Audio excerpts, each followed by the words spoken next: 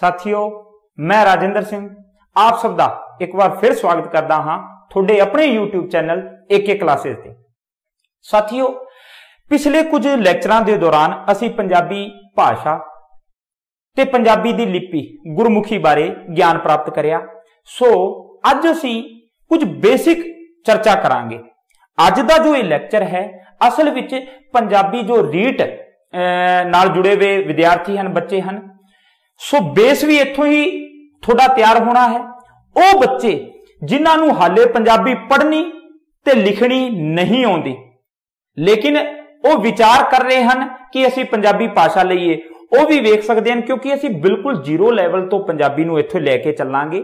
ਅਸੀਂ ਪੰਜਾਬੀ ਤੇ ਹਿੰਦੀ ਦੋਵੇਂ ਕੰਪੈਰੀਜ਼ਨ ਵਿੱਚ ਇਹ ਅੱਖਰ ਇੱਥੇ ਅੱਜ ਸਮਝਣ ਦਾ ਯਤਨ ਕਰਾਂਗੇ, ਤਾਂ ਕਿ ਤੁਸੀਂ ਉਹਨਾਂ ਅੱਖਰਾਂ ਨਾਲ ਸਾਂਝ ਪਾ ਲਵੋ, ਕਿਉਂਕਿ ਅੱਖਰ ਹੀ ਤਾਂ ਹਨ, ਜਾਂ ਵਰਣ ਹੀ ਤਾਂ ਹਨ, ਜਾਂ ਧੁਨੀਆਂ ਹੀ ਤਾਂ ਹਨ, ਜਿਨ੍ਹਾਂ ਦੀ ਸਾਨੂੰ ਇੱਕ ਵਾਰ ਪਛਾਣ ਹੋਣ ਤੋਂ ਬਾਅਦ ਉਹਨਾਂ ਵਰਨਾ ਤੋਂ ਅਸੀਂ ਸ਼ਬਦ ਬਣਾ ਸਕਦੇ ਹਾਂ। ਸੋ ਬੇਸਿਕ ਬੇਸਿਕ ਕੁਝ ਅਸੀਂ ਚਰਚਾ ਕਰਾਂਗੇ। ਅਸਲ ਵਿੱਚ ਅੱਜ ਦਾ ਜੋ ਇਹ ਟੌਪਿਕ ਹੈ ਵਿਆਕਰਣ ਦੀ ਸ਼ੁਰੂਆਤ ਵੀ ਇੱਥੋਂ ਹੀ ਹੁੰਦੀ ਹੈ। ਸੋ ਕੁਝ ਬੇਸਿਕ ਜੀਆਂ ਮੈਂ ਪਹਿਲਾਂ ਇੱਥੇ ਗੱਲਾਂ ਤੁਹਾਡੇ ਨਾਲ ਹੋਰ ਸਾਂਝੀਆਂ ਕਰ ਲਵਾਂ। ਸਾਥੀਓ, ਸਭ ਤੋਂ ਪਹਿਲਾਂ ਮੈਂ ਤੁਹਾਨੂੰ ਦੱਸਾਂ ਭਾਸ਼ਾ ਬਾਰੇ। ਕਿਉਂਕਿ ਸਾਡਾ ਅੱਜ ਵਿਆਕਰਣ ਦਾ ਸਮਝੋ, ਅੱਜ ਇਹ ਪਹਿਲਾ ਬਿੰਦੂ ਹੈ। ਸਭ ਤੋਂ ਪਹਿਲਾਂ ਮੈਂ ਤੁਹਾਡੇ ਨਾਲ ਸਾਂਝਾ ਕਰਦਾ ਸਾਥੀਓ ਭਾਸ਼ਾ ਬਾਰੇ ਕਿ ਭਾਸ਼ਾ ਦੀਆਂ ਇਕਾਈਆਂ ਕਿੰਨੀਆਂ ਹੁੰਦੀਆਂ ਹਨ। ਸੋ ਭਾਸ਼ਾ ਦੀ ਸਭ ਤੋਂ ਛੋਟੀ ਜਿਹੜੀ ਇਕਾਈ ਹੁੰਦੀ ਹੈ ਉਸ ਨੂੰ ਅਸੀਂ ਆਖਦੇ ਹਾਂ ਧੁਨੀ। ਕੀ ਆਖਦੇ ਹਾਂ? ਧੁਨੀ। ਧੁਨੀ ਤੋਂ ਭਾਵ ਹੋਇਆ ਆਵਾਜ਼ ਹੀ। ਜਿੱਦਾਂ ਮੈਂ ਕੁਝ ਉਚਾਰਦਾ ਹਾਂ, ਜਿਵੇਂ ਮੈਂ ਉਚਾਰਿਆ ਕੈ। ਇਹ ਕੈ ਜਦੋਂ ਮੈਂ ਉਚਾਰਿਆ, ਸੋ ਇਹ ਆਵਾਜ਼ ਹੈ, ਇਹ ਧੁਨ ਹੈ। ਧੁਨੀ। ਲੇਕਿਨ ਜਦੋਂ ਅਸੀਂ ਕੀ ਕਰਦੇ ਹਾਂ, ਇਸੇ ਨੂੰ ਲਿਖਤੀ ਰੂਪ ਦੇ ਦਿੰਨੇ ਹਾਂ, ਤਾਂ ਇਹੀ ਕੀ ਬਣ ਜਾਂਦਾ ਹੈ? ਵਰਣ ਜਾਂ ਅੱਖਰ। ਸੋ ਧੁਨੀ ਮੌਖਿਕ ਰੂਪ ਵਿੱਚ ਭਾਸ਼ਾ ਦੀ ਸਭ ਤੋਂ ਛੋਟੀ ਇਕਾਈ ਹੋਈ ਤੇ ਜਦੋਂ ਅਸੀਂ ਉਸ ਨੂੰ ਇੱਕ ਲਿਖਤੀ ਚਿੰਨ੍ਹ ਦੇ ਰੂਪ ਵਿੱਚ ਲਿਖ ਲੈਨੇ ਹਾਂ, ਤਾਂ ਉਹ ਵਰਣ ਬਣ ਜਾਂਦਾ ਹੈ। ਅਸੀਂ ਇੱਕੋ ਸੰਦਰਭ ਵਿੱਚ ਇੱਥੇ ਲੈ ਸਕਦੇ ਹਾਂ ਕਿ ਭਾਸ਼ਾ ਦੀ ਸਭ ਤੋਂ ਛੋਟੀ ਇਕਾਈ ਧੁਨੀ ਜਾਂ ਵਰਣ ਹੋਇਆ। ਵੈਸੇ ਮੌਖਿਕ ਰੂਪ ਵਿੱਚ ਤਾਂ ਧੁਨੀ ਹੈ। ਲਿਖਤੀ ਰੂਪ ਲਈ ਅਸੀਂ ਵਰਣ ਜਾਂ ਅੱਖਰ ਸ਼ਬਦ ਵਰਤਦੇ ਹਾਂ। ਐਸੇ ਤਰ੍ਹਾਂ ਸਾਥੀਓ, ਅੱਗੇ ਵੇਖੀਏ, ਧੁਨੀਆਂ ਤੋਂ ਮਿਲ ਕੇ ਵਰਨਾ ਤੋਂ ਮਿਲ ਕੇ ਕੀ ਬਣਿਆ? ਸ਼ਬਦ ਬਣਿਆ। ਕੀ ਬਣਿਆ? ਸ਼ਬਦ ਬਣਿਆ। ਜਿੱਦਾਂ ਇਹ ਤਿੰਨ ਵੱਖੋ ਵੱਖਰੇ ਕੀ ਹਨ? ਵਰਣ ਹਨ। ਕੈ, ਮੈਂ ਤੇ ਲੈ। ਜਦੋਂ ਅਸੀਂ ਇਹਨਾਂ ਨੂੰ ਜੋੜਿਆ ਤਾਂ ਇੱਕ ਸ਼ਬਦ ਬਣਿਆ ਕਮਲ। ਆਪਣੇ ਆਪ ਵਿੱਚ ਇਹ ਸਾਰਥਕ ਸ਼ਬਦ ਹੈ, ਇਸ ਦਾ ਆਪਣਾ ਅਰਥ ਹੈ। ਸੋ, ਧੁਨੀ ਤੋਂ ਬਾਅਦ ਭਾਸ਼ਾ ਦੀ ਇਕਾਈ ਕੀ ਹੋਇਆ? ਸ਼ਬਦ। ਐਸੇ ਰੂਪ ਵਿੱਚ ਅੱਗੇ ਅਸੀਂ ਵੇਖੀਏ ਤਾਂ ਧੁਨੀ ਸ਼ਬਦ ਤੋਂ ਬਾਅਦ ਸਭ ਤੋਂ ਵੱਡੀ ਜੇਕਰ ਕੋਈ ਭਾਸ਼ਾ ਦੀ ਇਕਾਈ ਹੈ ਤਾਂ ਉਸ ਨੂੰ ਅਸੀਂ ਕੀ ਆਖਦੇ ਹਾਂ? ਵਾਕ। ਇਹ ਤੁਸੀਂ ਬੇਸਿਕ ਗੱਲਾਂ ਖੈਰ ਜਾਣਦੇ ਹੋ। ਵਾਕ। ਵਾਕ ਭਾਸ਼ਾ ਦੀ ਸਭ ਤੋਂ ਵੱਡੀ ਸਾਰਥਕ ਇਕਾਈ ਹੋਈ। ਸਭ ਤੋਂ ਵੱਡੀ ਸਾਰਥਕ ਭਾਸ਼ਾ ਦੀ ਇਕਾਈ ਜੇਕਰ ਕੋਈ ਹੈ, ਤਾਂ ਉਹ ਹੈ ਵਾਕ। ਇਹ ਸਾਥੀਓ ਭਾਸ਼ਾ ਦੇ ਅਸੀਂ ਇਕਾਈਆਂ ਮੰਨਦੇ ਹਾਂ ਜਾਂ ਭਾਸ਼ਾ ਦੇ ਅੰਗ ਮੰਨਦੇ ਹਾਂ। ਲੇਕਿਨ ਜਦੋਂ ਗੱਲ ਅਸੀਂ ਕਰੀਏ ਸਾਥੀਓ ਵਿਆਕਰਣ ਦੀ, ਇੱਥੇ ਗੌਰ ਕਰਿਓ। ਜਦੋਂ ਅਸੀਂ ਗੱਲ ਕਰਦੇ ਹਾਂ ਸਾਥੀਓ ਕਿਸ ਦੀ ਵਿਆਕਰਣ ਦੀ। ਵਿਆਕਰਣ ਦੇ ਕਿੰਨੇ ਅੰਗ ਹਨ? ਵਿਆਕਰਣ ਦੇ ਕਿੰਨੇ ਅੰਗ ਹਨ? ਤਾਂ ਅਸੀਂ ਵਿਆਕਰਣ ਦੇ ਚਾਰ ਅੰਗ ਮੰਨਦੇ ਹਾਂ। ਦੇਖੋ, ਭਾਸ਼ਾ ਵਿੱਚ ਜੋ ਅਸੀਂ ਗੱਲ ਕਰੀ, ਮੈਂ ਦੁਬਾਰਾ ਉਹੀ ਫਿਰ ਤੁਹਾਡੇ ਨਾਲ ਸਾਂਝੇ ਕਰਦਾ ਹਾਂ। ਵਿਆਕਰਣ ਦੇ ਕਿਹੜੇ ਅੰਗ ਹੋਏ? ਇੱਕ ਉਹ ਹੋਇਆ ਜਿਸ ਨੂੰ ਅਸੀਂ ਧੁਨੀ ਬੋਧ ਆਖਦੇ ਹਾਂ, ਬੋਧ ਤੋਂ ਭਾਵ ਗਿਆਨ, ਜਿਸ ਵਿੱਚ ਅਸੀਂ ਗਿਆਨ ਪ੍ਰਾਪਤ ਕਰਦੇ ਹਾਂ। ਕਿੰਨਾ ਦਾ? ਧੁਨੀਆਂ ਦਾ। ਕਿ ਧੁਨੀਆਂ, ਇਹ ਖੰਡੀ ਧੁਨੀਆਂ ਖੰਡੀ ਧੁਨੀਆਂ, ਸਵਰ ਵਿਅੰਜਨ ਜੋ ਅਸੀਂ ਪੂਰਾ ਅੱਗੇ ਵਿਸ਼ਲੇਸ਼ਣ ਕਰਾਂਗੇ, ਧੁਨੀ ਬੋਧ। ਸੋ ਇਹਨਾਂ ਧੁਨੀਆਂ ਲਈ ਜਦੋਂ ਅਸੀਂ ਲਿਖਤੀ ਚਿੰਨ ਵਰਤਦੇ ਹਾਂ ਤਾਂ ਇਸੇ ਨੂੰ ਹੀ ਕੀ ਆਖ ਦਿੰਨੇ ਹਾਂ ਅਸੀਂ? ਵਰਣ। ਸੋ ਇਸ ਵਿਆਕਰਣ ਦੇ ਜੋ ਪਹਿਲੇ ਅੰਗ, ਦੇ ਤਹਿਤ ਅਸੀਂ ਧੁਨੀ ਜਾਂ ਵਰਣ ਬਾਰੇ ਗਿਆਨ ਪ੍ਰਾਪਤ ਕਰਦੇ ਹਾਂ। ਸਾਥੀਓ ਜੋ ਦੂਜਾ ਵਿਆਕਰਣ ਦਾ ਅੰਗ ਹੋਇਆ, ਉਹ ਹੋਇਆ ਸ਼ਬਦ। ਸ਼ਬਦ ਬੋਧ। ਸ਼ਬਦਾਂ ਦਾ ਬੋਧ ਕਰਦੇ ਆ ਅਰਥ ਦੇ ਆਧਾਰ ਤੇ ਹੋਵੇ, ਭਾਵੇਂ ਕਾਰਜ ਦੇ ਆਧਾਰ ਤੇ ਹੋਵੇ, ਜਿਵੇਂ ਅੱਗੇ ਅਸੀਂ ਪੜਾਂਗੇ ਨਾਮ ਪੜਨਾਮ ਕਿਰਿਆ, ਵਿਸ਼ੇਸ਼ਣ, ਵਿਕਾਰੀ ਐ ਵਿਕਾਰੀ ਜੋ ਵੀ ਸ਼ਬਦ ਹਨ। ਐਸੇ ਤਰ੍ਹਾਂ ਸਾਥੀਓ, ਫਿਰ ਸ਼ਬਦਾਂ ਤੋਂ ਮਿਲ ਕੇ ਕੀ ਬਣਿਆ? ਵਾਕ ਬਣਿਆ। ਇਹ ਤਾਂ ਮੈਂ ਪਹਿਲਾਂ ਹੀ ਭਾਸ਼ਾ ਦੇ ਦੌਰਾਨ ਤੁਹਾਨੂੰ ਲਿਖਾਈ ਤੇ ਸੰ, ਇਹ ਅੰਗ ਤਾਂ। ਸੋ ਇੱਥੇ ਜੋ ਚੌਥਾ ਅੰਗ ਜੋ ਅਸੀਂ ਚਰਚਾ ਕਰਨੀ ਹੈ, ਉਹ ਸਮਝੋ ਸਾਥੀਓ, ਚੌਥਾ ਸਭ ਤੋਂ ਇਹ ਵੀ ਵਿਆਕਰਣ ਦਾ ਪ੍ਰਮੁੱਖ ਜਾਂ ਮੁੱਖ ਅਸੀਂ ਅੰਗ ਮੰਨ ਸਕਦੇ ਹਾਂ ਜਿਸ ਨੂੰ ਅਸੀਂ ਆਖਦੇ ਹਾਂ ਸਾਥੀਓ ਅਰਥਬੋਧ। ਅਰਥ ਬੋਧ ਕਿਉਂਕਿ ਸ਼ਬਦ ਕਈ ਤਰ੍ਹਾਂ ਦੇ ਹੁੰਦੇ ਹਨ। ਸ਼ਬਦ ਕਈ ਤਰ੍ਹਾਂ ਦੇ ਹੁੰਦੇ ਹਨ। ਸਾਰਥਕ ਸ਼ਬਦ ਹੋ ਸਕਦੇ ਹਨ। ਜਾਂ ਅਸੀਂ ਕਹਿੰਦੇ ਆ ਸਮਾਨਾਰਥਕ, ਵਿਰੋਧੀ ਸ਼ਬਦ। ਵਿਰੋਧੀ ਸ਼ਬਦ ਹੋ ਗਏ, ਬਹੁਤੇ ਸ਼ਬਦਾਂ ਦੀ ਥਾਂ ਇੱਕ ਸ਼ਬਦ ਹੋ ਗਏ, ਬਹੁਅਰਥਕ ਸ਼ਬਦ ਹੋ ਗਏ। ਸੋ ਅਰਥਬੋਧ ਵੀ ਭਾਸ਼ਾ ਦੀ ਇੱਕ ਇਕਾਈ ਹੈ। ਸੋ ਅੱਜ ਜੋ ਸਾਡਾ ਹੁਣ ਬਿੰਦੂ ਚੱਲ ਰਿਹਾ ਹੈ ਭਾਵ, ਪੰਜਾਬੀ ਦੀ 35 ਅੱਖਰੀ ਹੈ ਧੁਨੀਆਂ ਬਾਰੇ ਜੋ ਅਸੀਂ ਗਿਆਨ ਪ੍ਰਾਪਤ ਕਰਾਂਗੇ, ਉਹ ਵਿਆਕਰਣ ਦਾ ਇਹ ਪਹਿਲਾ ਜਿਹੜਾ ਅੰਗ ਹੋਇਆ, ਇਸ ਦੀ ਚਰਚਾ ਹੋਣ ਜਾ ਰਹੀ ਹੈ ਅੱਜ। ਸੋ ਧੁਨੀ ਬੋਧ ਜਾਂ ਵਰਨਾ ਬਾਰੇ ਹੀ ਅਸੀਂ ਜਾਣਕਾਰੀ ਅੱਜ ਲੈਣੀ ਹੈ। ਸੋ ਅੱਗੇ ਅਸੀਂ ਕ੍ਰਮ ਵਿੱਚ ਵੇਖਦੇ ਹਾਂ। 35 ਅੱਖਰੀ, ਸਾਥੀਓ 35 ਅੱਖਰੀ। 35 ਅੱਖਰੀ। ਜਾਂ ਇਸੇ ਨੂੰ ਹੀ ਤੁਸੀਂ ਗੁਰਮੁਖੀ ਕਹਿ ਲੈਂਦੇ ਹੋ। ਦੇਖੋ 35 ਅੱਖਰੀ ਇਸ ਲਈ ਜੋ ਨਾ ਵਰਤਿਆ ਗਿਆ ਹੈ, ਕਿਉਂਕਿ ਇਸ ਵਿੱਚ ਮੂਲ 35 ਹੀ ਅੱਖਰ ਹਨ। ਇਸ ਲਈ ਅਸੀਂ 35 ਅੱਖਰੀ ਆਖ ਦਿੰਨੇ ਹਾਂ। ਸੋ ਪਹਿਲਾਂ ਮੈਂ 35 ਅੱਖਰੀ ਹੈ, ਜੋ ਭਾਵ ਊੜਾ ਹੈ। ਉਹੀ ਮੈਂ ਇੱਥੇ ਉਚਾਰਦਾ ਹਾਂ ਨਾਲ ਨਾਲ ਤੁਸੀਂ ਬੋਲ ਸਕਦੇ ਹੋ ਤੇ ਮੈਂ ਇੱਥੇ ਲਿਖਣਾ ਹਾਂ। ਸਾਥੀਓ, ਮੈਂ ਲਿਖਦਾ ਹਾਂ ਊੜਾ, ਆੜਾ, ਈੜੀ ਸੱਸਾ ਹਾ ਹਾ ਐਸੇ ਤਰ੍ਹਾਂ ਸਾਥੀਓ ਕੱਕਾ ਖੱਖਾ ਗੱਗਾ ਕੱਗਾ ਉਂਗਾ ਚੱਚਾ ਛੱਛਾ ਜੱਜਾ ਝੱਜਾ ਨਿਆ ਐਸੇ ਤਰ੍ਹਾਂ ਸਾਥੀਓ ਟੈਂਕਾ ਠੱਠਾ ਡੱਡਾ ਟੱਡਾ ਅਣਾਣਾ। ਕੀ ਹੋਇਆ ਸਾਥੀਓ? ਅਣਾਣਾ।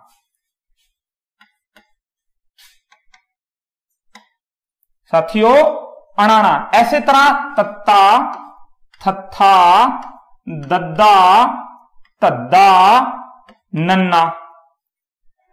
ਪੱਪਾ, ਫੱਫਾ, ਬੱਬਾ ਪੱਬਾ ਮੰਮਾ। ਇਹ ਛੇ ਟੋਲੀਆਂ ਹੋ ਗਈਆਂ ਤੇ ਅੰਤਮ ਟੋਲੀ ਹੈ ਉਹ ਸਾਥੀ ਹੋਈ ਯਈਆ, ਉਹ ਹੋਈ ਯਈਆ। ਰਾਰਾ ਲੱਲਾ ਵਾਵਾ ਤੇੜਾੜਾ ਇਹ ਸੱਤ ਟੋਲੀਆਂ, ਹਰ ਟੋਲੀ ਵਿੱਚ ਪੰਜ ਅੱਖਰ ਹਨ। ਸੋ 7 5 35 ਇਸੇ ਲਈ ਇਸੇ ਨੂੰ 35 ਅੱਖਰੀ ਕਿਹਾ, ਗੁਰਮੁਖੀ ਨੂੰ 35 ਅਖਰੀ ਵੀ ਅਸੀਂ ਕਹਿ ਲੈਨੇ ਹਾਂ। ਸਾਥੀਓ, ਇੱਥੇ ਗੌਰ ਕਰਿਓ, ਜੋ ਇਹ ਪਹਿਲੀ ਟੋਲੀ ਹੋਈ ਇਸ ਨੂੰ ਅਸੀਂ ਇਹਨਾਂ ਨੂੰ ਟੋਲੀ ਵਰਗਵਾਰ ਜੇ ਵੰਡੀਏ ਤਾਂ ਇਹਨਾਂ ਦੇ ਨਾਂ ਵੀ ਮਿਲਦੇ ਹਨ। ਉਹ ਵੀ ਅਸੀਂ ਇੱਥੇ ਮੌਖਿਕ ਰੂਪ ਨਾਲ ਸਾਂਝੇ ਕਰ ਲੈਣਾ ਹਾਂ। ਜਿੱਦਾਂ ਇਹ ਪਹਿਲੀ ਜਿਹੜੀ ਟੋਲੀ ਹੋਈ ਇਸ ਨੂੰ ਅਸੀਂ ਆਰੰਭਕ ਟੋਲੀ ਜਾਂ ਪਹਿਲੀ ਟੋਲੀ ਕਹਿ ਦਿੰਨੇ ਹਾਂ, ਜਾਂ ਪਹਿਲਾ ਵਰਗ ਕਹਿ ਦਿੰਨੇ ਹਾਂ। ਕੈ ਕਿਉਂਕਿ ਸ਼ੁਰੂਆਤ ਹੀ ਕੈ ਤੋਂ ਹੋਈ ਹੈ, ਇਸ ਲਈ ਇਸ ਇਸ ਨੂੰ ਕੀ ਬੋਲ ਦਿੰਨੇ ਹਾਂ? ਕੈ ਵਰਗ। ਕੀ ਬੋਲ ਦਿੰਨੇ ਹਾਂ? ਕੈ ਵਰਗ ਜਾਂ ਕੈ ਟੋਲੀ। ਚੈ ਨੂੰ ਕੀ ਬੋਲਾਂਗੇ? ਠੀਕ ਹੈ ਚੈ ਵਰਗ। ਟੈ ਨੂੰ ਟੈ ਵਰਗ ਤੈ ਨੂੰ ਤੈ ਵਰਗ ਪੈ ਨੂੰ ਪੈ ਵਰਗ। ਹੁਣ ਗੌਰ ਕਰਿਓ ਸਾਥੀਓ, ਇਹ ਜੋ ਯੈ ਵਰਗ ਨਾ ਕਹਿ ਕੇ ਤੁਸੀਂ ਕਿਉਂਕਿ ਇਹ ਅੰਤਮ ਵਰਗ ਹੋਇਆ, ਸੋ ਇਸ ਨੂੰ ਅਸੀਂ ਅੰਤਮ ਵਰਗ ਹੀ ਉਚਾਰਾਂਗੇ। ਕੀ ਹੋਇਆ ਇਹ ਸਾਥੀਓ? ਅੰਤਮ ਵਰਗ ਜਾਂ ਅੰਤਮ ਟੋਲੀ? ਅੰਤਮ ਵਰਗ ਜਾਂ ਅੰਤਮ ਟੋਲੀ? ਇਹ ਹੋਈ। ਸਾਥੀਓ, ਨਵੀਨ ਵਰਗ, ਸਪੇਸ ਨਹੀਂ ਹੈ, ਮੈਂ ਅੱਗੇ ਚਰਚਾ ਕਰਾਂਗਾ। ਇੱਥੇ ਸਾਥੀਓ ਗੌਰ ਕਰਿਓ, ਇਹ ਸ਼ੁਰੂਆਤੀ ਮੂਲ ਪੰਜਾਬੀ ਦੇ 35 ਅੱਖਰ ਹਨ। ਐਸੇ ਲਈ ਇਸ ਨੂੰ 35 ਅੱਖਰੀ ਕਿਹਾ ਜਾਂਦਾ ਰਿਹਾ ਹੈ। ਹੁਣ ਦੇਖੋ, ਇਹਨਾਂ ਵਿੱਚ ਕੁਝ ਅਸੀਂ ਹੋਰ ਤਰਕ ਦੇ ਆਧਾਰ ਤੇ ਗੱਲਾਂ ਵੇਖਦੇ ਹਾਂ। ਊੜੇ ਤੋਂ ਲੈ ਕੇ ਰਾੜੇ ਤੱਕ ਇਹ ਜੋ ਕ੍ਰਮ ਮਿਲਦਾ ਹੈ 35 ਅਖਰੀ ਦਾ, ਇਹੀ ਕ੍ਰਮ ਕਿਉਂ ਹੈ?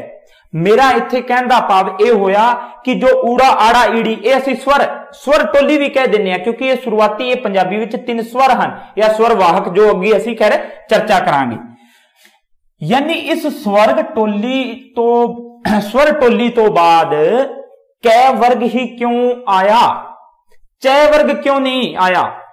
ਜਾਂ ਚੈ ਤੋਂ ਬਾਅਦ ਟੈ ਹੀ ਕਿਉਂ ਆਉਂਦਾ ਹੈ? ਕੈ ਜਾਂ ਪੈ ਕਿਉਂ ਨਹੀਂ ਆਉਂਦਾ? ਸੋ ਇਸ ਦਾ ਇਹ ਸੀਕੁਐਂਸ ਹੈ, ਇਹ ਕ੍ਰਮ ਹੈ, ਇਹ ਕਿਉਂ ਹੈ? ਸੋ ਮੈਂ ਇੱਥੇ ਸਾਂਝੀ ਕਰ ਲਵਾਂ ਤੁਹਾਡੇ ਨਾਲ ਗੱਲ। ਪੰਜਾਬੀ ਦੀ ਜੋ ਇਹ ਲਿਪੀ ਹੈ 35 ਅੱਖਰੀ, ਇਹ ਵਿਗਿਆਨਕ ਲਿਪੀ ਹੈ ਸਾਥੀਓ। ਇਸ ਲਈ ਇਹ ਜੋ ਕਰਮ ਹੈ, ਇਹ ਸਾਡੇ ਉਚਾਰਨ ਅੰਗਾਂ ਦੇ ਆਧਾਰ ਤੇ ਹੈ। ਸਾਥੀਓ, ਇੱਥੇ ਕੁਝ ਬੇਸਿਕ ਗੱਲਾਂ ਕਰੀਏ। ਦੇਖੋ, ਅੱਗੇ ਚੱਲ ਕੇ ਅਸੀਂ ਖੰਡੀ, ਇਹ ਖੰਡੀ ਧੁਨੀਆਂ ਦੇ ਦੌਰਾਨ ਖੈਰ ਅਸੀਂ ਧੁਨੀਆਂ ਦੀ ਖੂਬ ਚਰਚਾ ਕਰ ਲੈਣੀ ਹੈ।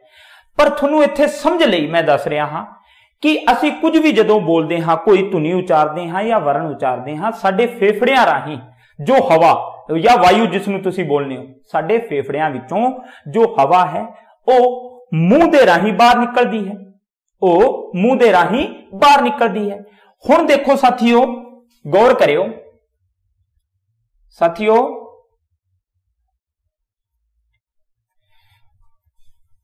ਇੱਥੇ ਮੈਂ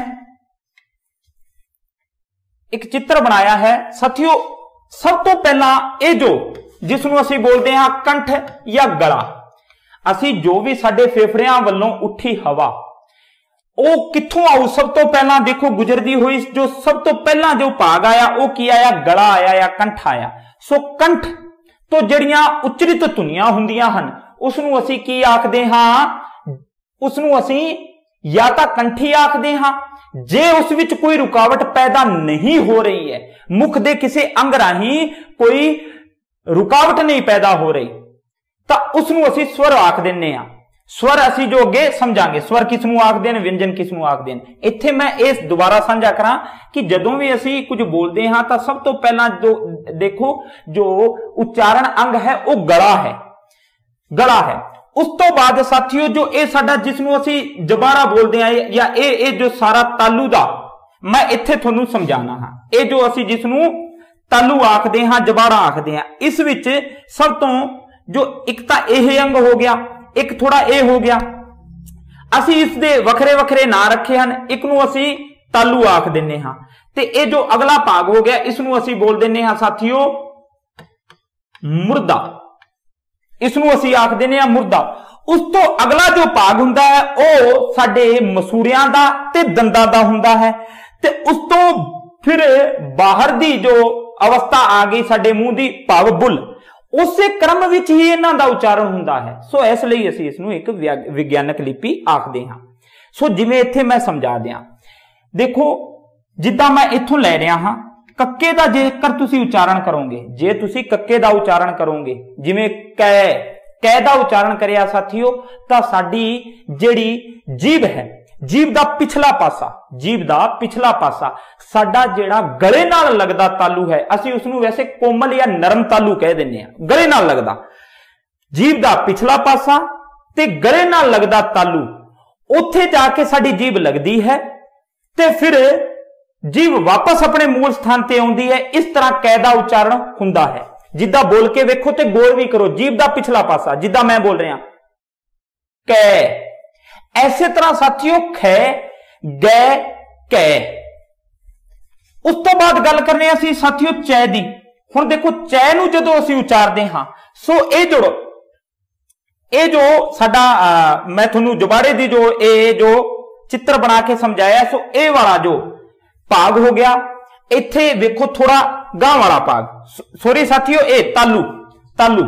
ਇਹ ਤਾਂ ਅਸੀਂ ਇਸ ਨੂੰ ਤਾਂ ਖੈਰ ਕੰਠੀ ਕਹਿ ਦਿੰਦੇ ਆ ਕਿਉਂਕਿ ਗਲੇ ਦੇ ਨੇੜੇ ਤੋਂ ਉਚਾਰਨ ਹੁੰਦਾ ਹੈ ਇਸ ਦਾ ਸੋ ਕੰਠੀ ਇਹ ਜੋ ਹੋਇਆ, ਚੈ ਚੈ ਦੀ ਸਥਿਤੀ ਸਾਡਾ ਜਿਹੜਾ ਤਾਲੂ ਹੈ, ਤਾਲੂ ਨੂੰ ਅਗਰ ਅਸੀਂ ਦੋ ਭਾਗਾਂ ਵਿੱਚ ਵੰਡੀਏ, ਇੱਕ ਇਹ ਹੋ ਗਿਆ ਤੇ ਇੱਕ ਆ ਹੋ ਗਿਆ ਭਾਗ ਇੱਥੇ ਜਾ ਕੇ ਜੀਬ ਦਾ ਵਿਚਾਲੜਾ ਹਿੱਸਾ ਲੱਗਦਾ ਹੈ ਤੇ ਵਾਪਸ ਫਿਰ ਜੀਬ ਮੂਲ ਸਥਾਨ ਤੇ ਆਉਂਦੀ ਹੈ ਤੇ ਚੈ ਦਾ ਉਚਾਰਨ ਹੁੰਦਾ ਹੈ। ਜਿਵੇਂ ਅਸੀਂ ਬੋਲ ਕੇ ਵੇਖੋ ਚੈ। ਸੋ ਜੀਬ ਦਾ ਜੋ ਅਸੀਂ ਕਹਿ ਸਕਦੇ ਹਾਂ ਨਾ ਵਿਚਲਾ ਹਿੱਸਾ, ਉਹ ਉੱਪਰ ਉੱਠ ਕੇ ਸਾਡੇ ਤਾਲੂ ਨਾਲ ਛੁੰਦਾ ਹੈ ਤੇ ਫਿਰ ਵਾਪਸ ਮੂਲ ਸਥਾਨ ਤੇ ਜੀਬ ਆਉਂਦੀ ਹੈ ਤੇ ਚੈ ਦਾ ਉਚਾਰਨ ਹੁੰਦਾ ਹੈ। ਐਸੇ ਤਰ੍ਹਾਂ ਛੈ ਦਾ, ਜੈ ਦਾ, ਚੈ ਦਾ। ਸੋ ਕਹਿਣ ਦਾ ਭਾਵ ਹੋਇਆ, ਐਸੇ ਲਈ ਅਸੀਂ ਇਸ ਨੂੰ ਕਹਿ ਦਿੰਨੇ ਹਾਂ, ਐਸੇ ਲਈ ਅਸੀਂ ਇਸ ਨੂੰ ਬੋਲ ਦਿੰਨੇ ਹਾਂ, ਸਾਥੀਓ, ਤਾਲਵੀ। ਤਾਲਵੀ ਵਿਅੰਜਨ ਕਹਿ ਦਿੰਨੇ ਆ ਭਾਵ ਇਸ ਦਾ ਉਚਾਰਨ ਕਿੱਥੋਂ ਹੋਇਆ? ਤਾਲੂ ਤੋਂ। ਐਸੇ ਤਰ੍ਹਾਂ ਸਾਥੀਓ ਇਸ ਦਾ ਉਚਾਰਨ ਅੱਗੇ ਚੱਲ ਕੇ ਫਿਰ ਮੁਰਦਾ ਤੋਂ ਹੁੰਦਾ ਹੈ। ਇਸ ਨੂੰ ਵੈਸੇ ਅਸੀਂ ਉਲਟ ਜਿੱਬੀ ਵੀ ਆਖਦੇ ਹਾਂ, ਕਿਉਂਕਿ ਜਦੋਂ ਅਸੀਂ ਇਸ ਨੂੰ ਉਚਾਰਦੇ ਹਾਂ, ਤਾਂ ਸਾਡੀ ਜੀਭ ਫੋਲਡ ਹੋ ਕੇ, ਭਾਵ ਪੁੱਠੀ ਹੋ ਕੇ ਸਾਡਾ ਜੋ ਇਹ ਸਖਤ ਤਾਲੂ ਹੈ, ਸਾਡਾ ਇਹ ਵਾਲਾ ਜੋ ਸਖਤ ਤਾਲੂ ਹੈ, ਇੱਥੇ ਛੁੰਦੀ ਹੈ। ਜਿੱਦਾਂ ਬੋਲ ਕੇ ਵੇਖੋ, ਟੈ। ਸੋ ਜੀਭ ਸਾਡੀ ਫੋਲਡ ਹੋਈ। ਉੱਤੇ ਸਖਤ ਤਾਲੂ ਨੂੰ ਛੁੰਦੀ ਹੈ, ਵਾਪਸ ਜੀਭ ਆਪਣੀ ਮੂਲ ਸਥਾਨ ਤੇ ਆਉਂਦੀ ਹੈ ਤੇ ਟੈ ਦਾ ਉਚਾਰਨ ਹੁੰਦਾ ਹੈ। ਇਸ ਤੋਂ ਇਲਾਵਾ ਟੈ ਦਾ ਉਚਾਰਨ ਹੋ ਵੀ ਨਹੀਂ ਸਕਦਾ।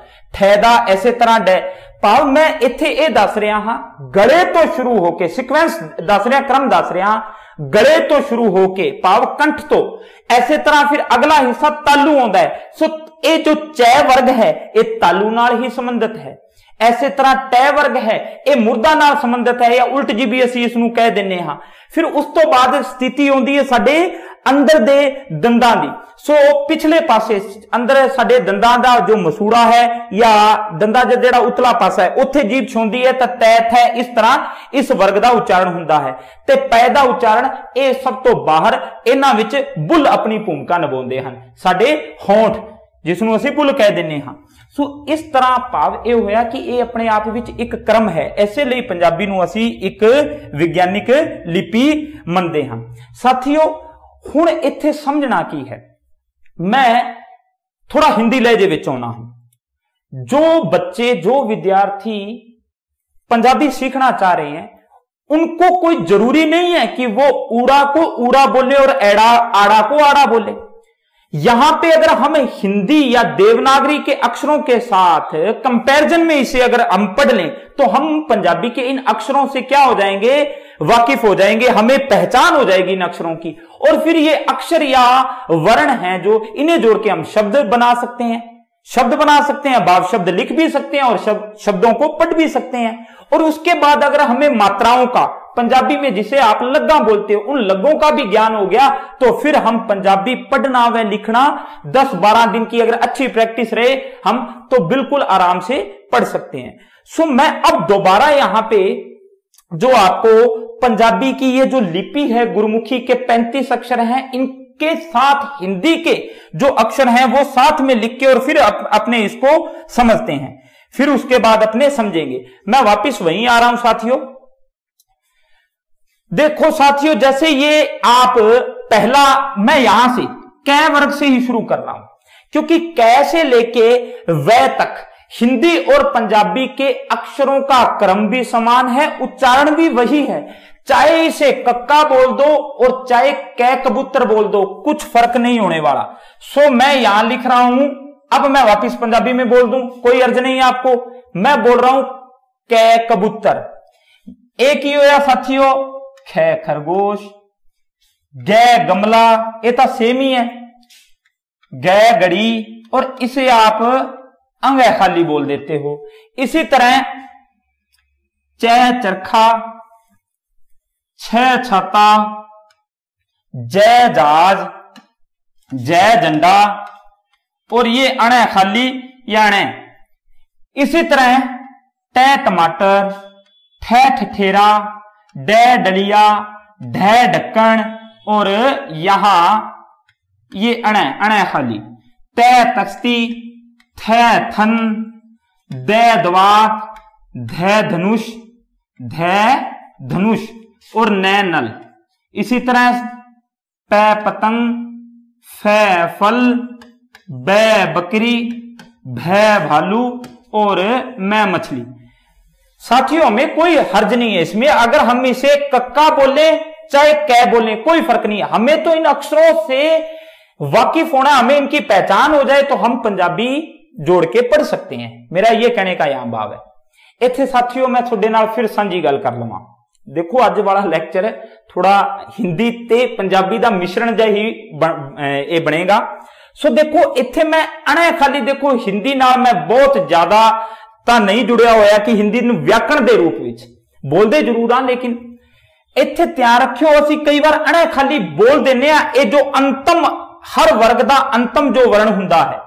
ਪਰ ਪੰਜਾਬੀ ਵਿੱਚ ਇਹਨਾਂ ਦਾ ਆਪਣਾ ਵਿਸ਼ੇਸ਼ ਉਚਾਰਨ ਹੈ ਅਣੇ ਖਾਲੀ ਨਹੀਂ ਹੈ। ਸਾਥੀਓ, ਜੇ ਅਣੇ ਖਾਲੀ ਹੋਵੇ ਤਾਂ ਇਹਨਾਂ ਨੂੰ, ਇਹਨਾਂ ਦੇ ਫਿਰ ਵੱਖੋ ਵੱਖਰੇ ਆਕਾਰ ਜਾਂ ਚਿੰਨ ਕਿਉਂ ਦਿੱਤੇ ਗਏ ਹਨ? ਸੋ ਮੈਂ ਇੱਥੇ ਇਹ ਵੀ ਤੁਹਾਡੇ ਨਾਲ ਸਾਂਝਾ ਕਰ ਲਵਾਂ ਬਹੁਤੇ ਬੱਚੇ ਇਸ ਨੂੰ ਜੋ ਪਹਿਲਾ ਹੈ ਅਣੇ ਖਾਲੀ, ਯਾਨੀ ਕਿ ਕੱਕਾ, ਖੱਖਾ, ਗੱਗਾ ਕੱਗਾ ਤੇ ਅੰਗਾ ਬੋਲ ਦਿੰਦੇ ਆ। ਸੋ ਇਹ ਅੰਗਾ ਨਹੀਂ ਹੈ। ਦੇਖੋ, ਇਸ ਦਾ ਕੀ ਉਚਾਰਨ ਹੈ? ਮੈਂ ਪਹਿਲਾਂ ਤੁਹਾਨੂੰ ਦੱਸ ਕੇ ਆਇਆ। ਇਸ ਦਾ ਉਚਾਰਨ, ਇਹ ਐਸੇ ਵਰਗ ਦੇ ਅੱਖਰਾਂ ਦੇ ਵਿੱਚ ਆਇਆ ਭਾਵ ਜਿੱਥੋਂ ਕੈ ਦਾ ਉਚਾਰਨ ਹੁੰਦਾ ਹੈ ਨਾ। ਉਚਾਰਨ ਇਸ ਦਾ ਵੀ ਉੱਥੋਂ ਹੀ ਹੋਣਾ ਹੈ। ਪਰ ਧਿਆਨ ਰੱਖਣਾ ਹੈ ਕਿਉਂਕਿ ਇਹ ਨਾਸਕੀ ਵਿਅੰਜਨ ਹੁੰਦੇ ਆ ਜੋ ਕੈ ਤੋਂ ਲੈ ਕੇ ਪੈ ਵਰਗ ਦਾ ਅੰਤਮ ਜਿਹੜਾ ਅੱਖਰ ਹੈ ਨਾ ਇਹ ਪੰਜ, ਇਹ ਪੰਜੇ। ਇੱਥੇ ਮੈਂ ਸਾਂਝੇ ਕਰ ਲਵਾਂ। 1 2 3 4 ਤੇ 5 ਇਹਨਾਂ ਨੂੰ ਨਾਸਕੀ ਜਾਂ ਅਨੁਨਾਸਿਕ ਅਸੀਂ ਵਿਅੰਜਨ ਆਖਦੇ ਹਾਂ। ਇਹਨਾਂ ਦਾ ਹੁਣ ਉਚਾਰਨ ਆਪਣੇ ਆਪਣੇ ਵਰਗ ਦੇ ਅਕੋਰਡਿੰਗ ਹੋਊਗਾ। ਯਾਨੀ ਕਿ ਇਹਨਾਂ ਦਾ ਉਚਾਰਨ ਸਥਾਨ ਹੈ ਜਿਹੜਾ, ਉਹ ਆਪਣੇ ਵਰਗ ਦੇ ਅਕੋਰਡਿੰਗ ਹੈ। ਪਰ ਨਾਲ ਨਾਲ ਤੁਸੀਂ ਸਹਾਇਤਾ ਲੈਣੀ ਹੈ ਕਿਸ ਦੀ ਨੱਕ ਦੀ। ਨੱਕ ਰਾਹੀਂ ਵੀ ਬੋਲਣਾ ਹੈ, ਦੋਵੇਂ ਕੰਮ ਯਾਦ ਰੱਖਣੇ ਹੈ। ਹੁਣ ਮੈਂ ਤੁਹਾਨੂੰ ਦੱਸਣਾ ਹਾਂ ਇਸ ਦਾ ਉਚਾਰਨ ਕੀ ਹੋਇਆ? ਇਸ ਦਾ ਉਚਾਰਨ ਹੋਇਆ ਸਾਥੀਓ ਨਾ ਨਾ ਇਸ ਤਰ੍ਹਾਂ। ਸੋ ਇਹ ਕਿਸ ਤਰ੍ਹਾਂ ਉਚਾਰਿਆ? ਜੀਬ ਜੋ ਮੈਂ ਕਹਿ ਸਕਦਾ ਗਲੇ ਦੇ ਨਾਲ ਲੱਗਦਾ ਜਿਹੜਾ ਸਾਡਾ ਤਾਲੂ ਹੈ, ਕੋਮਲ ਤਾਲੂ, ਉਸ ਨਾਲ ਜੀਬ ਦਾ ਪਿਛਲਾ ਹਿੱਸਾ ਲੱਗਦਾ ਹੈ ਤੇ ਜੋ ਨੱਕ ਰਾਹੀਂ ਆਵਾਜ਼ ਹੁੰਦੀ ਹੈ ਨਾ ਇਸ ਤਰ੍ਹਾਂ। ਇਹ ਉਚਾਰਿਆ ਅਣਾ ਖਾਲੀ ਨਹੀਂ ਬੋਲਦੇ ਅਸੀਂ ਇਸ ਨੂੰ। ਇਸ ਦੇ ਆਪਣੇ ਅਰਥ ਹਨ। ਜਿਵੇਂ ਬਾਣੀ ਵਿੱਚ ਨਿਆਣ ਸ਼ਬਦ ਮਿਲਦਾ ਹੈ। ਜਾਂ ਅਸੀਂ ਅੱਜ ਕੱਲ ਕੀ ਕਰਨ ਲੱਗ ਗਏ ਆ? ਇਸ ਲਈ। ਇਸ ਲਈ ਇੱਥੇ ਮੈਂ ਕੁਝ ਬੇਸਿਕ ਕਿਉਂਕਿ ਮੈਂ ਪਹਿਲਾਂ ਹੀ ਤੁਹਾਨੂੰ ਦੱਸਿਆ, ਅੱਜ ਬੇਸਿਕ ਜੀਆਂ ਕੁਝ ਗੱਲਾਂ ਅਸੀਂ ਜਾਣ ਲਈਏ। ਸਾਥੀਓ, ਅਸੀਂ ਕੀ ਕਰਨੇ ਆ? ਜਿਵੇਂ ਸਿੰਘ। ਜਿਵੇਂ ਅਸੀਂ ਪਸ਼ੂਆਂ ਦੇ ਜੋ ਸਿੰਘ ਦੀ ਗੱਲ ਕਰੀਏ ਉਸ ਲਈ ਅੱਜ ਕੱਲ ਪੰਜਾਬੀ ਵਿੱਚ ਸਿੰਘ ਪਤਾ ਕਿਸ ਤਰ੍ਹਾਂ ਲਿਖਿਆ ਜਾਂਦਾ ਹੈ? ਸੈ ਦੇ ਲਾ ਦਿੰਦੇ ਆ, ਟਿੱਪੀ ਤੇ ਅਗਲਾ ਅੱਖਰ ਗੈ। ਸਿੰਘ, ਇਹ ਹੋ ਗਿਆ ਜੀ ਸਿੰਘ। ਜੇ ਇੱਥੇ ਕੈਕੜੀ ਹੋ ਜਾਂਦੀ ਤਾਂ ਫਿਰ ਸਿੰਘ ਬਣ ਜਾਣਾ ਸੀ, ਜੋ ਸਰਨੇਮ ਅਸੀਂ ਲਾ ਲੈਨੇ ਆ ਰਾਜਿੰਦਰ ਸਿੰਘ। ਇਹ ਹੋ ਗਿਆ ਸਿੰਘ। ਪਰ ਅਸਲ ਵਿੱਚ ਸ਼ੁੱਧ ਜੋ ਹੈ, ਉਹ ਇਹ ਹੋਇਆ ਸ਼ਬਦ। ਸਾਥੀਓ, ਇਹ ਵਾਲਾ। ਸਿੰਘ। ਇਹ ਹੋਇਆ। ਐਸੇ ਤਰ੍ਹਾਂ ਸਾਥੀਓ, ਇਹ ਵੀ ਇੱਕ ਵਿਸ਼ੇਸ਼ ਆਪਣੀ ਪਛਾਣ ਰੱਖਦਾ ਹੈ ਜੋ ਦੂਜਾ ਚੈ ਵਰਗ ਦਾ ਜਿਹੜਾ ਇਹ ਅੱਖਰ ਹੈ ਇਸ ਨੂੰ ਵੀ ਅਸੀਂ ਬੋਲ ਦਿੰਨੇ ਆ ਕਈ ਨਹੀਂਆਂ ਬੋਲ ਦਿੰਦੇ ਆ ਇਸ ਇਸ ਦਾ ਸਹੀ ਜੋ ਉਚਾਰਨ ਹੈ, ਉਹ ਹੈ ਯੰਨਾ ਯੰਨਾ ਸਾਥੀਓ ਯੰਨਾ ਇਸ ਤਰ੍ਹਾਂ। ਇਸ ਦੇ ਵੀ ਗੁਰਬਾਣੀ ਵਿੱਚ ਵਿਸ਼ੇਸ਼ ਅਰਥ ਦਿੱਤੇ ਗਏ ਹਨ। ਸੋ, ਕਈ ਵਾਰ ਜਿਵੇਂ ਜਿਵੇਂ ਮੈਂ ਤੁਹਾਨੂੰ ਦੱਸਣਾ ਹਾਂ ਜਿਵੇਂ ਇੱਕ ਸ਼ਬਦ ਅਸੀਂ ਅੱਜ ਕੱਲ ਕੀ ਕਰਨ ਲੱਗ ਪਏ ਹਾਂ? ਤ੍ਰਿੰਜਣ ਸ਼ਬਦ ਲਿਖਨੇ ਹਾਂ ਜਿਵੇਂ। ਅਸੀਂ ਕੀ ਸ਼ਬਦ ਲਿਖਨੇ ਹਾਂ ਸਾਥੀਓ? ਤ੍ਰਿੰਜਣ।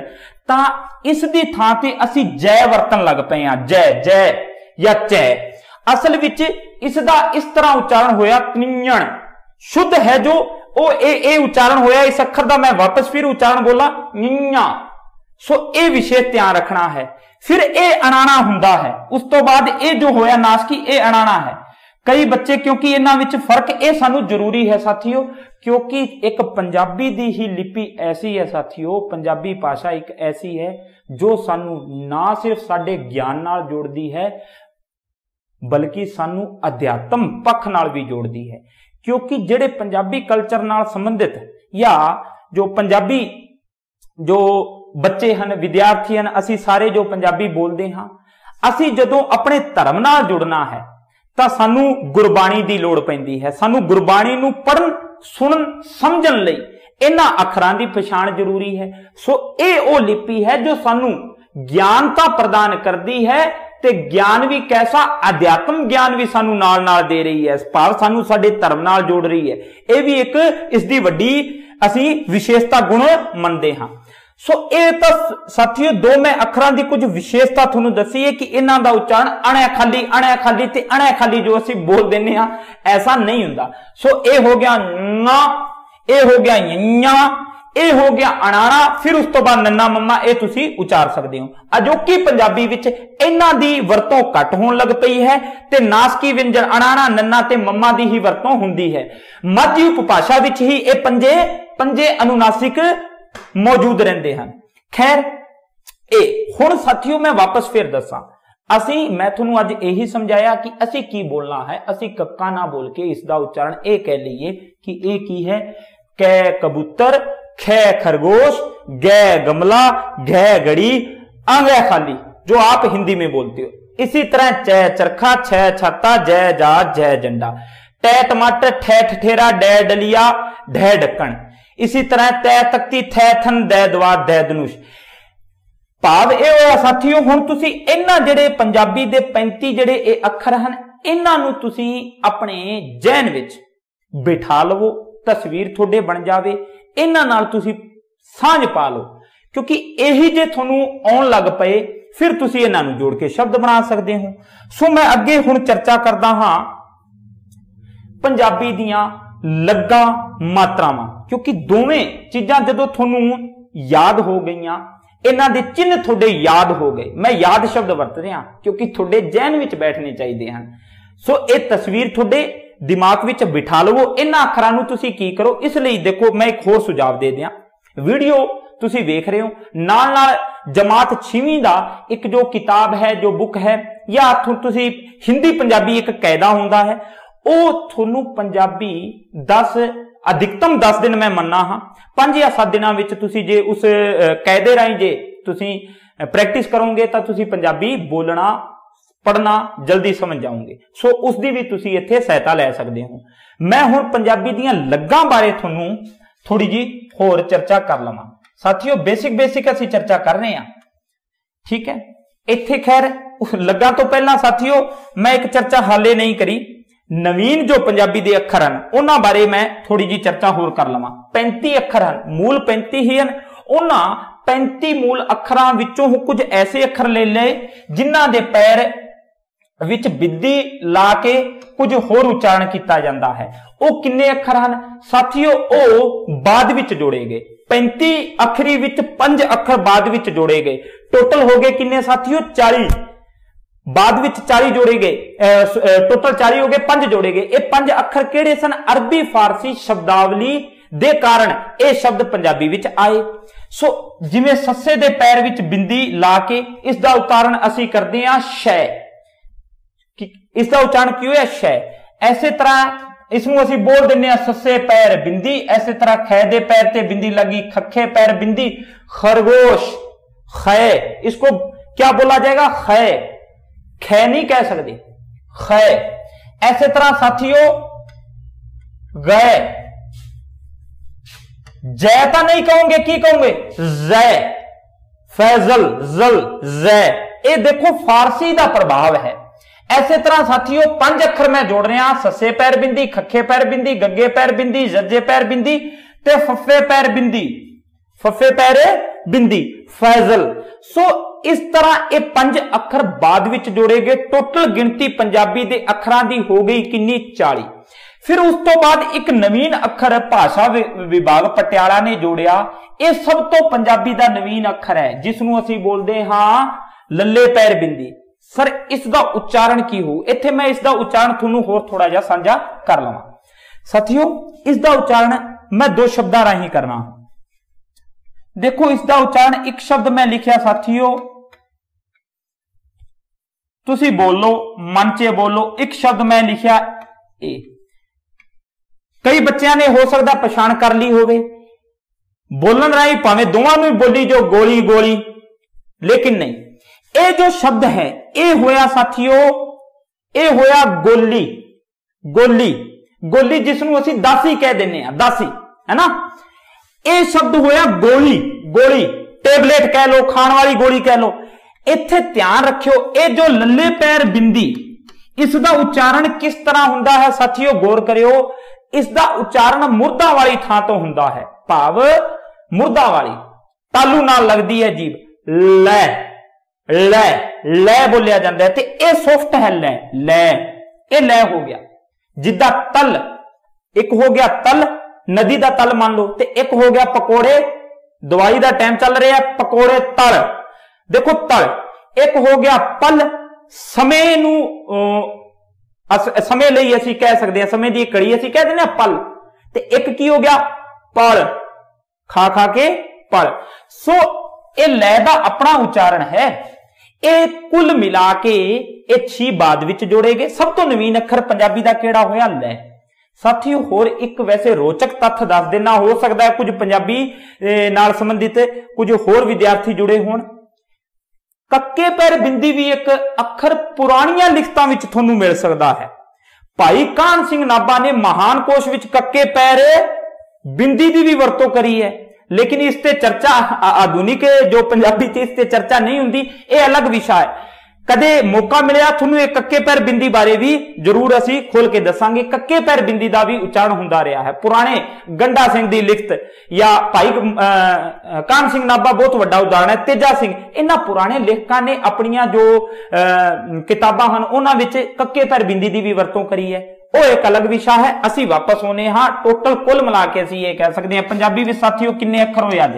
41 ਹੋਏ 35 ਮੂਲ ਹੈ ਇਹ ਬਾਅਦ ਵਿੱਚ ਜੋੜੇ ਗਏ ਬਣੇ ਉਹਨਾਂ ਤੋਂ ਹੀ ਇਹ ਅਰਬੀ ਫਾਰਸੀ ਦਾ ਪ੍ਰਭਾਵ ਇਹਨਾਂ ਅੱਖਰਾਂ ਵਿੱਚ ਸਾਨੂੰ ਦਿਖਦਾ ਹੈ ਇਹ ਹੋਏ ਸਾਥੀਓ ਹੁਣ ਵਾਪਸ ਮੈਂ ਆਉਣਾ ਹਾਂ ਪੰਜਾਬੀ ਦੀਆਂ ਲੱਗਾਂ ਤੇ ਪੰਜਾਬੀ ਦੀਆਂ ਲੱਗਾ ਲੱਗਾ ਤੋਂ ਭਾਵ ਹੋਇਆ मात्रा क्या हुआ दोस्तों इसका संबंध हुआ मात्रा से मात्रा ही अब आप हिंदी में मात्राएं देखते हो तो इसमें अपने क्या करना है सिर्फ आज मैं आपको सिर्फ और सिर्फ पंजाबी की जो लगे या मात्राएं हैं इनका सिर्फ नाम बता दूं बस ये ताकि आप आपके लिए कहीं ना कहीं ये होमवर्क है इसको आप जहन में बिठा लो सो ਜਿਹੜੀਆਂ ਪੰਜਾਬੀ ਦੀਆਂ ਲੱਗਾ ਮਾਤਰਾਵਾਂ ਹੋਈਆਂ ਉਹ ਕਿੰਨੀਆਂ ਹਨ ਉਹ ਹਨ ਸਾਥੀਓ 10 ਪਹਿਲੀ ਲੱਗਾ ਮਾਤਰਾ ਦਾ ਜੋ ਨਾਮ ਹੈ ਉਹ ਹੈ ਸਾਥੀਓ ਮੁਕਤਾ ਮੁਕਤਾ ਐਸੇ ਤਰ੍ਹਾਂ ਕੰਨਾ ਸਾਥੀਓ ਬੋਲੋ, ਸਿਹਾਰੀ, ਐਸੇ ਤਰ੍ਹਾਂ ਬਿਹਾਰੀ। ਅੱਗੇ ਚਲੀਏ ਅਸੀਂ ਸਾਥੀਓ, ਬਿਹਾਰੀ ਤੋਂ ਬਾਅਦ ਔਂਕੜ। ਪੰਜ ਮੈਂ ਐ ਸਾਈਡ ਲਿਖ ਦਿੰਨਾ ਹਾਂ, ਔਂਕੜ ਤੋਂ ਬਾਅਦ ਦੁਲੈਂਕੜ। ਦੁਲੈਂਕੜ। ਲਾ, ਕਈ ਸਾਥੀਓ ਇਸ ਨੂੰ ਲਾਵਾ ਬੋਲ ਦਿੰਦੇ ਆ, ਲਾਵਾ ਨਹੀਂ, ਲਾਈ। ਇਸ ਤੋਂ ਇਲਾਵਾ ਦੁਲਾਵਾ ਕੀ ਹੋਇਆ ਸਾਥੀਓ? ਦੁਲਾਵਾ ਹੋੜਾ ਅਤੇ ਕਨੌੜਾ। ਹੋੜਾ ਅਤੇ ਕਨੌੜਾ। ਇਹ ਪੰਜਾਬੀ ਦੀਆਂ ਸਾਥੀਓ 10 ਲੱਗਾ ਹਨ। 10 ਲੱਗਾ ਹਨ। ਇਸ ਤੋਂ ਇਲਾਵਾ ਲੱਗਾ ਅੱਖਰਾਂ ਬਾਰੇ ਵੀ ਸਾਨੂੰ ਚਰਚਾ ਕਰਨੀ ਹੈ, ਦੁੱਤ ਅੱਖਰ ਬਾਰੇ ਵੀ ਸਾਨੂੰ ਚਰਚਾ ਕਰਨੀ ਹੈ। ਉਹ ਅਸੀਂ ਆਪਣੇ ਅਗਲੇ ਲੈਕਚਰ ਵਿੱਚ ਚਰਚਾ ਕਰਾਂਗੇ ਇੱਥੇ 10 ਜੋ ਲੱਗਾ ਲਿਖਾਈਆਂ ਹਨ ਇਹਨਾਂ ਨਾਲ ਸੰਬੰਧਿਤ ਜੋ ਚਿੰਨ ਹਨ ਉਹ ਤੁਸੀਂ ਘਰੇ ਇਸ ਦੀ ਜੋ ਬਿਲਕੁਲ ਜੋ ਪੰਜਾਬੀ ਨਹੀਂ ਪੜਨਾ ਜਾਣਦੇ ਉਹ ਕੁਝ ਇਸ ਦੀ ਪ੍ਰੈਕਟਿਸ ਕਰ ਸਕਦੇ ਹਨ ਇਹਨਾਂ ਦੇ ਚਿੰਨ ਜਿਹੜੇ ਹਨ ਇਹਨਾਂ ਲੱਗਾ ਜਾਂ ਮਾਤਰਾ ਦੇ ਚਿੰਨ ਹਨ ਇਹ ਕੋਈ ਬਹੁਤੇ कोई अंतर नहीं है हिंदी नालों साथियों इनमें कोई ज्यादा फर्क नहीं है जहां पे मैं चिन्ह और संदेह कर लू ये अंतिम आज की अपनी चर्चा रहेगी सो कन्ना है जो सो सब तो पहला मुक्ता। मुक्ता तो पाव, मात्रा तो मुक्त है। ये यानी कि ऐसी मात्रा है, इसको पंजाबी में एक लग माना तो गया है, मात्रा माना गया पर इसका अपना कोई चिन्ह है नहीं। अब क्यों नहीं है ये बात की ये विस्तार में आप आगे अपने चर्चा करेंगे। भाव ये हुआ कि इसके लिए मैं एक शब्द ही लिख देता हूँ, जैसे मैंने लिखा अमर। तो ए है ये ये मुक्ता रूप में है मैं है ये मुक्ता रूप में है इस पे कोई लग नहीं लगी लेकिन मैं अगर बोल दूं कि मैं पे कौन सी लग लगी है तो आप बोल सकते हो मुक्ता है ये मुक्ता लग है क्योंकि हर एक में ए की धुन आ आएगी ए तो जुड़ा ही है ਕੰਨਾ ਤੋਂ ਭਾਵ ਹੋਇਆ ਆਦੀ ਮਾਤਰਾ ਕੰਨਾ ਤੋਂ ਭਾਵ ਆਦੀ ਮਾਤਰਾ ਹੁਣ ਦੇਖੋ ਜਿੱਥੇ ਤੁਸੀਂ ਹਿੰਦੀ ਵਿੱਚ ਪੂਰੀ ਡੰਡੀ ਲਾਉਨੇ ਹੋ ਉੱਥੇ ਤੁਸੀਂ ਇਹ ਡੰਡੀ ਹਾਫ ਭਾਵ ਅੱਧੀ ਕਰ ਦਿਓਗੇ ਉਚਾਰਨ ਉਹੀ ਹੈ ਉਹੀ ਜਿਵੇਂ ਐ ਦੇ ਲੱਗੀ ਆ ਤੇ ਮੈਂ ਆਮ ਇਸ ਪ੍ਰਕਾਰ ਹੁਣ ਦੇਖੋ ਸਿਹਾਰੀ ਸਿਹਾਰੀ ਭਾਵ ਛੋਟੀ ਦੀ ਮਾਤਰਾ ਇਸ ਦਾ ਜੋ ਸਿੰਬਲ ਹੋਇਆ ਸੇਮ ਹਿੰਦੀ ਵਾਲਾ ਹੈ कोई फर्क ही नहीं है साथियों बिहारी वड्डी ईदी मात्रा सिंबल बिल्कुल हिंदी वाला सेम औंकड़ छोटे ऊ दी मात्रा ਉਚਾਰਨ ਉਹੀ ਰਹੇਗਾ। ਥੋੜਾ ਇਸ ਦਾ ਸਿੰਬਲ ਹੈ ਜੋ ਬਦਲ ਗਿਆ। ਇਹ ਕਿਸੇ ਅੱਖਰ ਦੇ ਥੱਲੇ ਇਸ ਤਰ੍ਹਾਂ। ਇਸ ਤਰ੍ਹਾਂ ਥੋੜੀ ਗੁਲਾਈ ਦੇ ਕੇ ਵੀ ਜਾਂ ਕਈ ਵਾਰ ਅਸੀਂ ਇਸ ਤਰ੍ਹਾਂ ਸਿੱਧੀ ਅੱਖਰ ਦੇ ਕਿਸੇ ਥੱਲੇ ਇਸ ਤਰ੍ਹਾਂ ਲੈਣ ਜੀ ਲਾ ਦਿੰਨੇ ਹਾਂ। ਸੋ ਔਂਕੜ। ਐਸੇ ਤਰ੍ਹਾਂ ਦੁਲੌਂਕੜ। ਔਂਕੜ ਔਂਕੜ ਵਿੱਚ ਅਸੀਂ, ਸਾਥੀਓ, ਔਂਕੜ ਵਿੱਚ ਅਸੀਂ ਕੀ ਕਰਿਆ? ਇੱਕ ਇਸ ਤਰ੍ਹਾਂ ਥੱਲੇ ਲੱਗ ਲਾਈ। ਦੁਲੋਂਕੜ ਵਿੱਚ ਅਸੀਂ ਕੀ ਕਰਦੇ ਹਾਂ? ਦੁਲੋਂਕੜ ਭਾਵ ਵੱਡੇ ਊ ਦੀ ਮਾਤਰਾ। ਦੁਲੋਂਕੜ ਤੋਂ ਭਾਵ ਵੱਡੇ ਊ ਦੀ ਮਾਤਰਾ, ਇਹ ਇਸ ਤਰ੍ਹਾਂ ਅੱਖਰ ਦੇ ਥੱਲੇ ਦੋ ਅਸੀਂ ਲੈਣਾ ਲਾਉਨੇ ਹਾਂ। ਲਾ ਤੋਂ ਭਾਵ ਹੋ ਗਿਆ ਏ ਦੀ ਮਾਤਰਾ। ਏ, ਛੋਟਾ ਏ। ਭਾਵ ਇਸ ਤਰ੍ਹਾਂ। ਇਹ ਸੇਮ ਹੀ ਹੋਈ ਹਿੰਦੀ ਵਾਲੀ। ਦੁਲਾਵਾ ਤੋਂ ਭਾਵ ਇਸ ਤਰ੍ਹਾਂ। ਦੁਲਾਵਾ ਜਿਸ ਨੂੰ ਤੁਸੀਂ ਹਿੰਦੀ 'ਚ ਅਈ ਦੀ ਮਾਤਰਾ ਬੋਲਨੇ ਹੋ। ਅਈ ਦੀ। ਸੋ ਦੁਲਾਵਾ ਸੇਮ ਹੀ ਹੈ, ਕੋਈ ਫ਼ਰਕ ਨਹੀਂ ਹੈ। ਹੋੜਾ ਤੇ ਕਨੋੜਾ। ਸਭ ਦੀ ਦੇਖੋ, ਸਭ ਮਾਤਰਾਵਾਂ ਦੀ ਧੁਨੀ ਸੇਮ ਹੀ ਰਹਿਣੀ ਹੈ, ਹਿੰਦੀ ਤੇ ਪੰਜਾਬੀ ਵਿੱਚ ਸੇਮ ਹੀ ਹੈ। ਹਾਂ, ਹੋੜਾ ਤੇ ਕਨੋੜਾ ਦਾ ਥੋੜਾ ਰੂਪ ਬਦਲਿਆ ਹੈ। ਜਿਵੇਂ ਹੋੜਾ ਜਿਸ ਨੂੰ ਤੁਸੀਂ ਹਿੰਦੀ ਵਿੱਚ ਔ ਤੇ ਕਨੋੜਾ ਨੂੰ ਆਉ ਬੋਲਨੇ ਹੋ। ਆਉ ਦੀ ਮਾਤਰਾ। ਹਿੰਦੀ ਵਿੱਚ ਤੁਸੀਂ ਡੰਡੀ ਇਸ ਤਰ੍ਹਾਂ ਥੱਲੇ ਲਾ ਕੇ ਤੇ ਇਹ ਵਰਤਨੇ ਹੋ। ਪੰਜਾਬੀ ਵਿੱਚ ਇਸ ਦੀ ਥਾਂ ਤੇ ਜੋ ਇਸ ਤਰ੍ਹਾਂ ਅੰਗਰੇਜ਼ੀ ਅੱਖਰ ਜਿਹੜਾ ਐਸ ਹੈ ਉਸ ਨੂੰ ਅਧੂਰਾ ਜਾਂ ਇਸ ਤਰ੍ਹਾਂ ਲਿਖਦੇ ਹਾਂ। ਤੇ ਕਨੋੜਾ ਇਸੇ ਤਰ੍ਹਾਂ ਤੇ ਇਸ ਦੇ ਥੱਲੇ ਇਸ ਤਰ੍ਹਾਂ ਅਸੀਂ ਇਹ ਚਿੰਨ ਵਰਤਿਆ ਜਾਂਦਾ ਹੈ। ਕਨੋੜਾ ਲਈ ਇੱਕ ਹੋਰ ਵੀ ਚਿੰਨ ਹੈ, ਮੈਂ ਇੱਥੇ ਹੋਰ ਤੁਹਾਨੂੰ ਸਾਂਝਾ ਕਰ ਲਵਾਂ। ਇਸ ਪ੍ਰਕਾਰ ਇਹ ਦੋ ਚਿੰਨ ਵੀ ਇਸ ਤਰ੍ਹਾਂ ਵਰਤੇ ਜਾਂਦੇ ਹਨ। ਖੈਰ, ਆਮ ਜੋ ਪ੍ਰਚਲਨ ਵਿੱਚ ਹੈ, ਉਹ ਇਹੀ ਲਿਆ ਜਾਂਦਾ ਹੈ। ਸੋ ਇਹ ਹਨ, ਲੱਗਾ, ਅੱਗੇ ਅਸੀਂ ਚਰਚਾ ਫਿਰ ਜਾਰੀ ਰੱਖਾਂਗੇ। ਸੋ ਧੰਨਵਾਦ।